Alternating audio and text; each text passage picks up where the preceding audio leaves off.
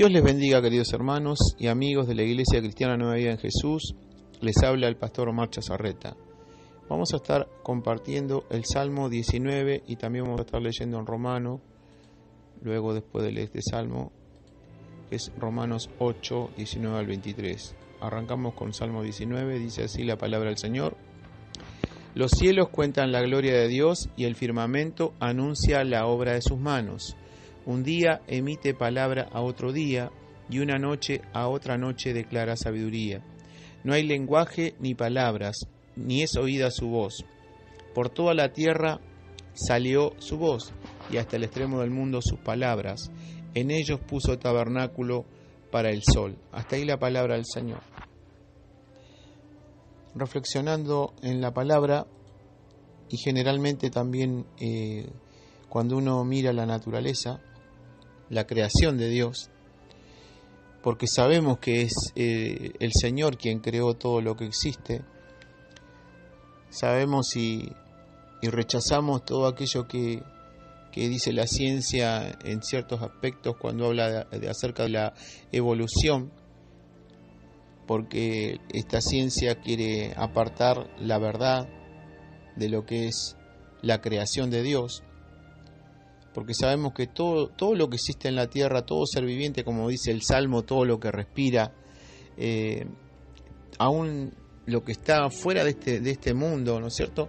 Eh, podemos ver el, el, sol, las estrellas, el firmamento, como dice este Salmo, las estrellas, las galaxias, eh, el universo en sí, los, las, las galaxias que, que nosotros con nuestros ojos no podemos alcanzar a ver, todo eso fue creado por Él, por Dios. Y mirando aquí eh, este video que, que, he preparado como, como para que ustedes observen lo que es lo maravilloso que nosotros sabemos lo que es eh, la naturaleza, ¿no? Cuando vemos, nosotros decimos naturaleza, pero esto es creación, creación de Dios, belleza diríamos, de las manos de Dios, porque Dios es, es un perito arquitecto, porque Él ha preparado cada cosita chiquitita, minúscula, aún hasta los gusanitos, una mosquita, un, pajarito, no sé, cualquier cosita que se te pueda imaginar a vos, todo eso que creó Dios es, es tan hermoso y es tan maravilloso que podemos decir Qué impresionante la obra que Dios ha hecho. Y mirando acá en estos animalitos que nosotros podemos encontrar en el agua, en el mar, algunos peces son de río, otros son de mar,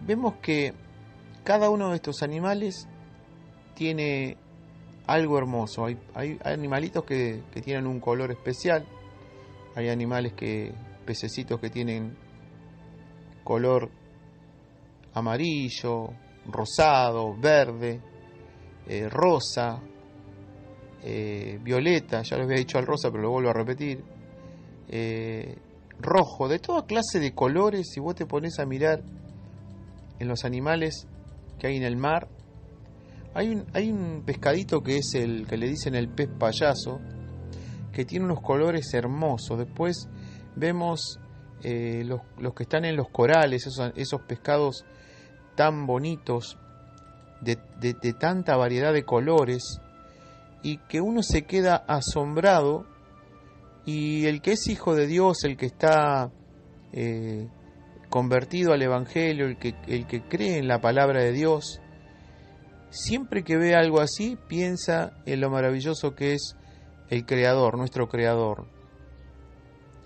Mirando eh, todos estos animalitos, estos peces, encontramos también que hay un, pez, hay un pescadito que, que es el pescadito que fabrica la arena en el coral. Creo que le dicen el pez loro. Y bueno, y buscando al pez loro, que es un animalito que, que él este, cuando defeca, defeca arena. Y, y no sé cuánto, cuánto, este, cuánto prepara durante toda su vida, ¿no? Pero es un animal especial para, para, para eso, para el ecosistema de ese lugar. Después buscamos este, animales así como, por ejemplo, lo que ustedes van a ver acá en este video. Hay uno que es, este, le dicen también eh, el pez em, borrón, morrón iba a decir, borrón, que es este, un pescadito que tiene la cara como, como un humano, algo así, ¿no? Este, tiene como una nariz, una trompa, como una boca. Bueno, ese pescado habita en las profundidades del agua, eh, creo que aproximadamente hasta mil metros para abajo, de ahí en la oscuridad vive este animal. Este, y dicen que fue declarado el animal más feo del mundo. Y después vemos acá el, el pez loro que también está, como le decía yo, que es muy parecido al papagayo, al loro papagayo, porque hay una foto que, está casi al final ahí, que tiene el formato de, un loro y la cabeza de un loro. Creo que Dios lo hizo todo combinando con, con la naturaleza de la tierra para demostrar que qué poder, qué poder de creación, qué poder, qué poder tan grande que tiene nuestro Dios para hacer las cosas tan perfectas, tan hermosas. Y fíjate que, los pescaditos también, este, ellos tienen como, como ojitos, tienen ojos y pueden ver, pueden ver abajo del agua y pueden respirar abajo del agua. Ellos respiran el oxígeno a través de las branquias y qué, qué impresionante lo que es la obra de Dios, qué tremenda que es la obra de Dios.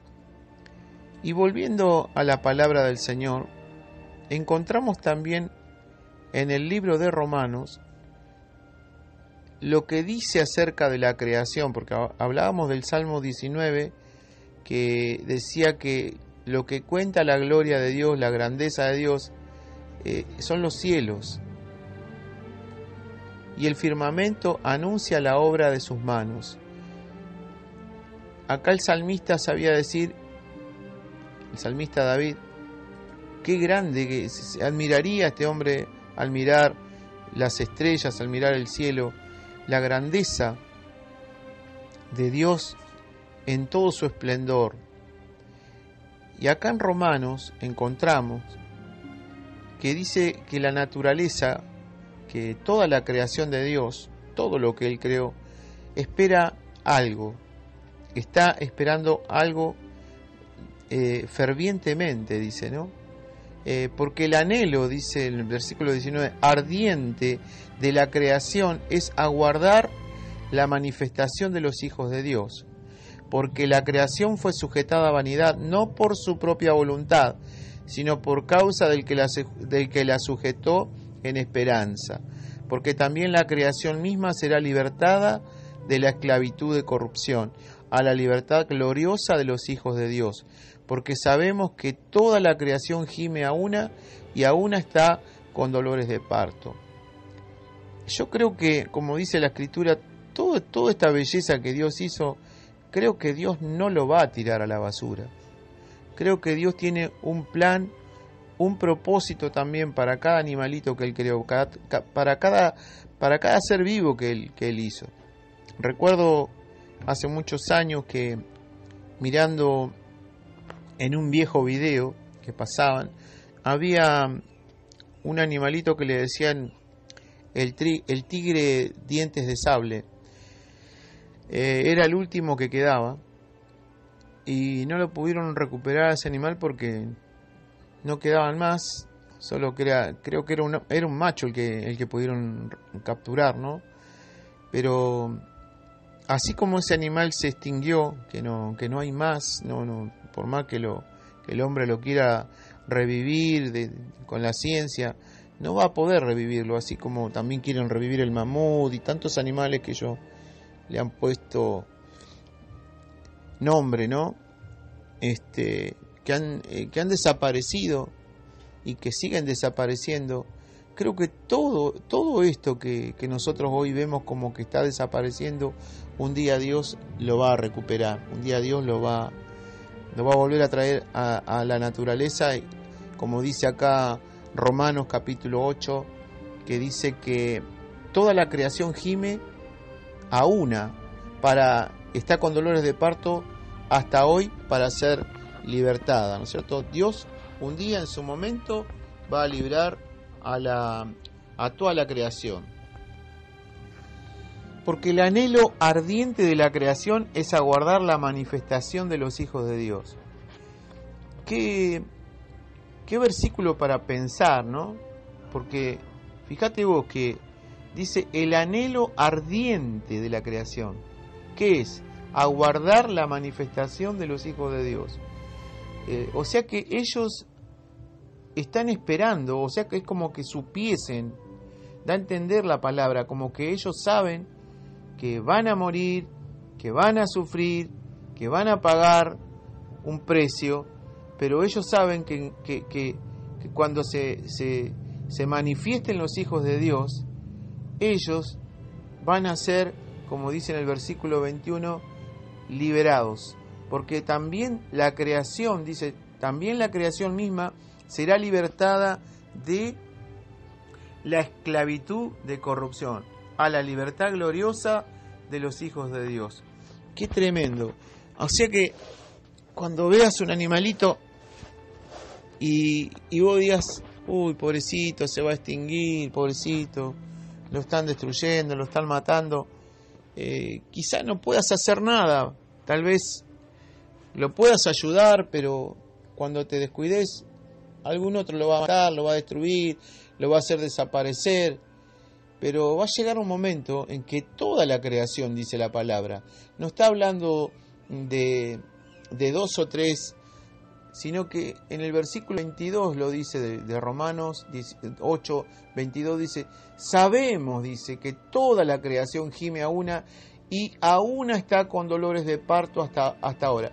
O sea que toda la creación, toda la creación, porque no, no, no abarca uno, dos, tres animalitos, abarca todo, va a ser liberado por Dios cuando la, manifestación de los hijos de Dios se, sea ejecutada, se manifieste, ¿no es cierto? Sea eh, ya realizada, esa es la palabra, ¿no? Cuando nosotros estemos eh, reinando, cuando nosotros estemos eh, con cuerpos glorificados, cuando nosotros estemos con, en el lugar que, el Señor nos va a poner, nos va a plantar, donde Dios nos mande, donde Dios nos diga qué es lo que tenemos que hacer, cuando ya esté todo sujeto bajo los pies del Señor, que el Señor esté gobernando, que todas las cosas que anuncia el Apocalipsis se cumplan. Eh, nosotros dice que ahí la creación también, la misma creación, va a ser libertada. Conforme estos versículos dice, el anhelo ardiente de la creación es aguardar la manifestación de los hijos de Dios porque la creación fue sujetada a vanidad, no por su propia voluntad, sino por causa del que la sujetó en esperanza. Es decir, que Dios mismo hizo todo eso para que la creación un día, el día que los hijos de Dios se manifiesten, ellos también sean liberados. Dice, porque voy a volver a repetir el 21, porque también la creación misma será libertada de la esclavitud de corrupción a la libertad gloriosa de los hijos de Dios. O sea que todos los animales, todos van a ser libertados. Y no sé, imagínate, qué sé yo, tal vez esos bichitos que desaparecieron, capaz que, vuelvan a tener vida. No, no, me, no me animaría a, a, a decir algo que no está dentro de mi conocimiento porque desconozco pero hay cosas que son inimaginables para uno, ¿no? Porque yo recuerdo que cuando era niño tenía un perrito que, que amaba mucho y un día me lo, me lo llevó la, como nosotros acá le decíamos perrera, eh, sabían andar por las calles de acá eh, combatiendo a la, a la rabia y me llevó a perritos. La primera vez me lo rescataron, pero la segunda vez no me lo rescataron más. Y siempre me acuerdo de, esos dos cachorros, de esos dos perros hermosos que tenía y que los amaba, que jugaba con ellos y corríamos y jugábamos por el campo. Eh, y bueno, y quizás, quizás, no sé, eso será Dios, sabrá. Quizás eh, también tendrán la oportunidad de volver. Eso no lo digo yo, no lo dice la palabra ni lo digo yo, es un pensar, es un, es un decir, ¿no? Por ahí también sucede, porque acá este versículo eh, habla de que la creación fue sujetada a vanidad, no por su propia voluntad, sino por causa del que la sujetó en esperanza. O sea que Dios mismo la, la puso en esa condición, pero también Dios mismo lo va a liberar, porque yo como te decía en un momento, no creo que Dios eh, tire todas las cosas que Él hizo a la basura, porque creo que Dios eh, lo hizo todo con un propósito, así como, como nos creó a nosotros con un propósito, también Él creó todas las cosas con un propósito. Eh, por eso te digo que es hermoso cuando uno arranca mirando en el, versículo del Salmo que dice que los cielos eh, cuentan la gloria de Dios y el firmamento anuncia la, la obra de sus manos. Eh, todo esto lo que nosotros vemos, que nuestros ojos pueden ver, fue creado por Él y Él se va a encargar de ordenar todo y de preparar todo. Todos esos, esos animalitos que sufren, que, gimen, porque la palabra de Dios dice que gimen, que, que lloran, eh, vos los ves como, sufren. El otro día miraba un documental ahí en, en un canal de televisión que no recuerdo el, nombre del canal, creo que es Discovery, y pasaban eh, el oso polar, como, como está perdiendo terreno allá en el, en el, en el Ártico, ¿no? Eh, cada vez dice que se, se derriten se derriten las aguas, se están derritiendo los, los hielos, los glaciares antiguos y los animales están muriendo, se están extinguiendo, se mueren de hambre y nadie hace nada, es que no van a poder hacer nada porque está todo escrito.